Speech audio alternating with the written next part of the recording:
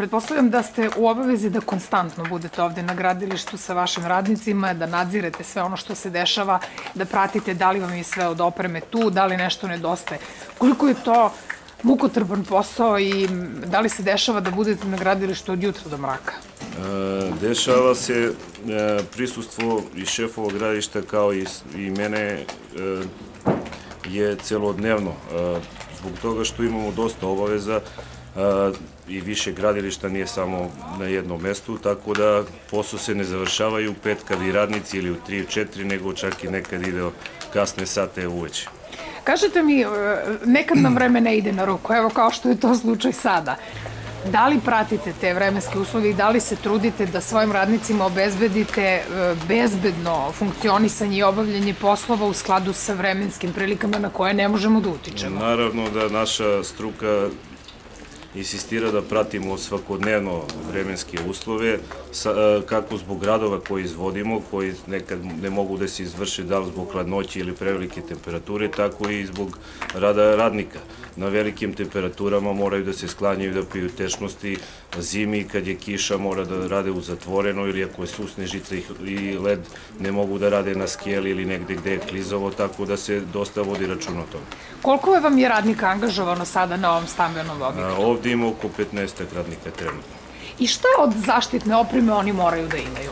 A, standardno od zaštitne opreme je lično zaštitna sredstva. To su rukavice, a, zaštitne cipele, a, prstluk, šlem i radno delo. To je nešto što svakodnevno nose, a za određenu vrstu poslova kao što su rad na visini, postoje i pojasevi kojima se oni vežu zbog sigurnosti. Da li svi mogu da rade na visini? Ili morate da obučite radnike? Ne, e, za rad na visini e, postoji e, pregled u zdravstvenim ustanovama za, koji se odnosi na rad na visini. Znači, to su posebni pregledi kojima se odobrava određenim radnicima da mogu da montiraju skelu ili tako dalje. Naravno da svi ne prođu taj test, tako da ne mogu svi da rade na visini.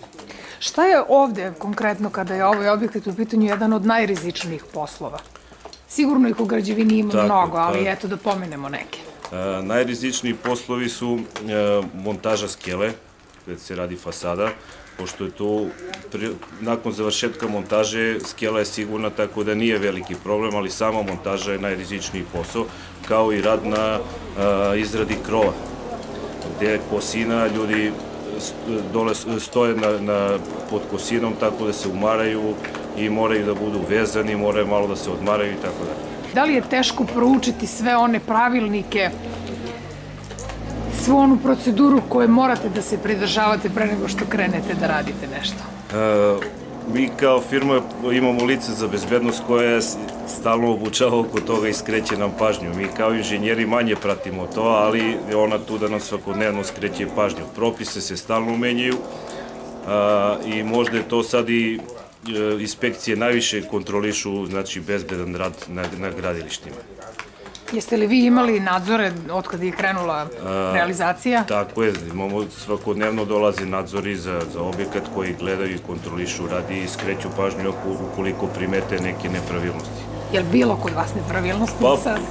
postoji naravno, ne, nekad se ne stavi neka ograda ili neka zaštitna mreža ili neko upozorenje, ali to su uglavnom sitni, sitni detalji koji se rešavaju nakon pola sata.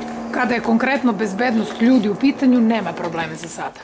Za sada, hvala Bogu, nema nikakvih Odlično. problema, mi se trudimo, pošto su nam ljudi najbitniji od svega. Znači, poslovi i zarade su manje bitni nego sam zdravlje i živote svih naših radnika. Kada očekujete da privedete kraju radove? Pa kako nam vreme ide na ruku, možda i nećemo da prekidamo sa radovima jedino oko praznika, pošto sad vreme slava i ide nova godina, tako da verovatno samo u tom periodu neće da se radi.